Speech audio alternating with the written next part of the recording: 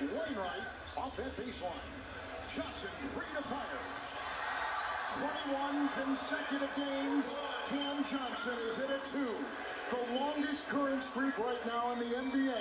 His second in a row from distance. Yeah, that was a great job by Wainright on that baseline attack and then able to get Johnson in rhythm there on that triple. And Phoenix hasn't shot it well, but their shot quality has been terrific here in this first quarter.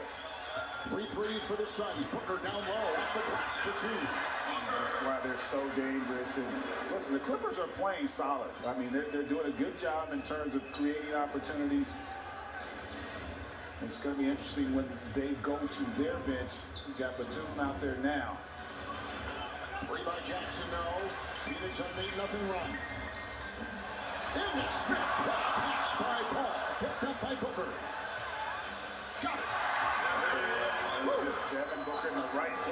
right time there to get that offensive rebound. And Phoenix now getting some rhythm here in the desert. 10 nothing run.